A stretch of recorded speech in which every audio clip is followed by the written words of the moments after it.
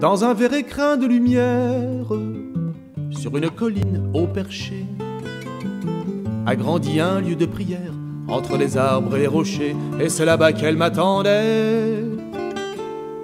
Un rendez-vous qui pourrait vous sembler bizarre.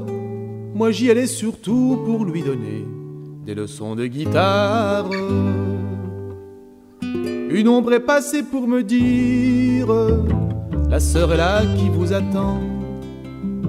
Et j'ai regardé s'évanouir la robe noire sur les murs blancs dans le dédale du couvent. Près d'un feu, patientait mon élève. Je n'ai vu que le jeu des flammes qui dansaient sur ses lèvres. Mais pourquoi faut-il donc qu'elle s'enferme Quelle idée, le constat me consterne. Elle a tout pour me combler de joie. Mais hélas, tout ça n'est pas pour moi. Elle sait si bien parler et sourire.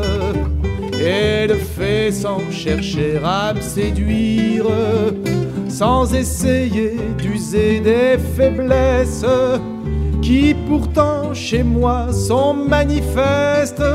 Si je ne connaissais le destinataire de tant d'amour, j'invoquerais Dieu le Père.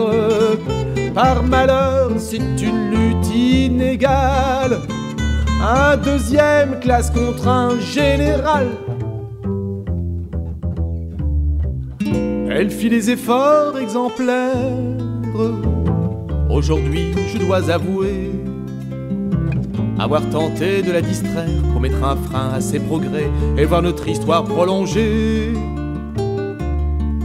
Mais il a fallu pourtant qu'un jour nos chemins se séparent. Mais je revois souvent le feu ses lèvres et sa guitare. Mais pourquoi faut-il donc qu'elle s'enferme Quelle idée, le constat me consterne. Elle a tout pour me combler de joie.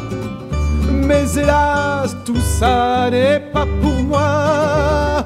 Elle sait si bien parler et sourire. Elle fait sans chercher à me séduire sans essayer d'user les faiblesses qui pourtant chez moi sont manifestes. Si je ne connaissais le destinataire de tant d'amour, j'invoquerais Dieu le Père. Par malheur, c'est une lutte inégale, un deuxième classe contre un général si je ne connaissais le destinataire tant d'amour, j'invoquerais Dieu le Père. Par malheur, c'est une lutte inégale, un deuxième classe.